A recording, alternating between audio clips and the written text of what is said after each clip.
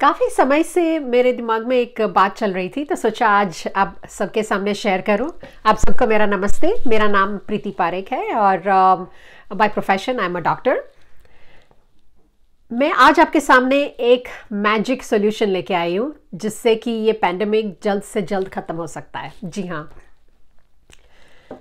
जब से ये सेकेंड वेव शुरू हुआ है, हम इसे दोष दे रहे हैं, उसे दोष दे रहे हैं। Government health care system doctors equipment नहीं है, ये, वो। लेकिन आज एक ही बात कहनी है आपसे। अगर आप, आपकी सिर्फ़ और सिर्फ़ आपकी रिस्पॉन्सिबिलिटी ले लें तो ये पैंडमिक जल्द से ख़त्म हो सकता है।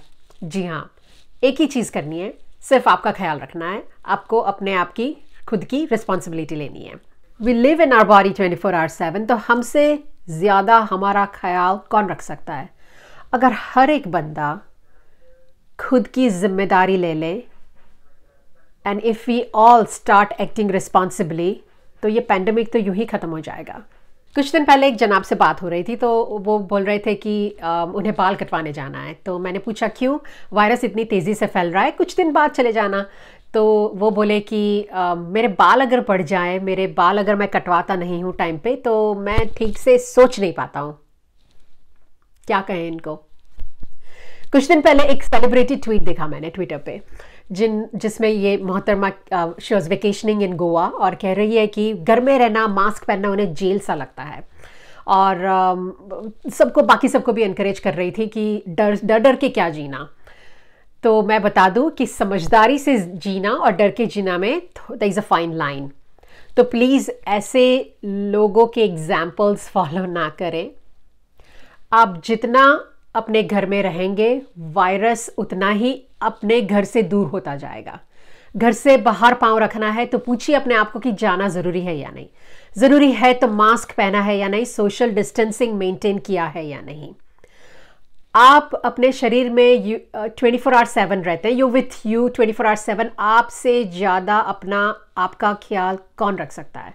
Your health should be your business only हम डॉक्टर्स आपको सिर्फ़ बता सकते हैं, करना तो it's up to you at the end तो घर में रहें, बाहर जाएँ तो मास्क पहने सोशल डिस्टेंसिंग मेंटेन रखें। हेल्थ ऑफिशियल्स जो वैक्सीन रेकमेंड कर रहे हैं, वो लें ताकि अगर इन्फेक्शन हुआ भी तो आपका बॉडी वेल इक्विप्ड हो सके टू फाइट द वायरस और अपना इम्यून सिस्टम ये बात बिल्कुल आपके हाथ में है। आपका इम्यून सिस्टम हेल्दी रहे, उसके लिए फॉलो दी स्टेप्स चार बातें हैं। Number one healthy diet make sure to have in fruits and vegetables in your diet तला हुआ कम खाएँ, शुगर कम खाएँ, घर का खाएँ, बजाय ये कि बाहर का या packaged food number two is exercise अभी जिम नहीं जा सकते, बाहर भी शायद वॉक के लिए नहीं जा सकते, लेकिन घर में भी आप वॉक कर सकते हैं, घर में भी आप चल फिर सकते हैं, घर के कामों में हाथ बटाइए। क्योंकि जितना आप एक्टिव रहेंगे थ्रू आउट द डे उतनी आपकी इम्यून सिस्टम हेल्दी रहेगी। पूरे दिन घर से अगर काम कर रहे हैं तो कई बार ये होता है कि पूरे दिन आ, निकल जाता है बैठ के काम करने में। लेकिन हर एक आधे घंटे या एक घंटे पे आप रिमाइंडर्स रखें ताकि आप उठ के घर में थोड़ी देर चल फिर सकें।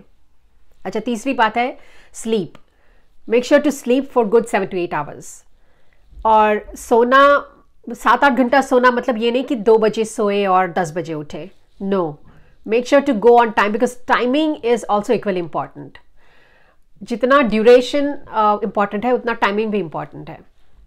दस, साढ़े दस बजे तक सो जाएँ, सुबह छः साढ़े छः बजे तक उठ जाएँ, इससे भी आपकी इम्यून सिस्टम हेल्दी रहेगी। नंबर फोर स्ट्रेस अगर आपकी लाइफ में स्ट्रेस है तो make sure to work on that अगर जो स्ट्रेस देने लायक, देने वाली घटनाएँ हैं, उससे ध्यान आपका हटा के दिन में एटलीस्ट चार, पाँच बार उससे ध्यान हटा के पाँच मिनट भी हो सके तो ध्यान कीजिए जैसे कि आपकी सांस पे ध्यान दीजिए। और just do breathe meditation for five minutes या तो फिर आपके अगर um, uh, कोई um, आपका कोई मंत्र है या uh, जिस भगवान में आप um, uh, विश्वास करते हैं उनका ध्यान कीजिए। सबसे सिंपल है ब्रेथ मेडिटेशन सांस पे ध्यान देना। सांस सांस नहीं क्योंकि वो फिर स्ट्रेसफुल हो सकता है। तो ऐसे पाँच मिनट का जो भी आपको आ, आ, सूट करे मेडिटेशन कीजिए तीन चार बार कीजिए और सिचुएशन जो है वो चली तो नहीं जाने वाली है लेकिन व्हेन यू गो बैक उसका इमोशनल चार्ज जो है वो उतना नहीं रहेगा अगर आप दिन में इतने फ्रीक्वेंट ब्रेक्स लेंगे तो। तो ये चार बातें हैं जो आप ध्यान में रख सकते हैं।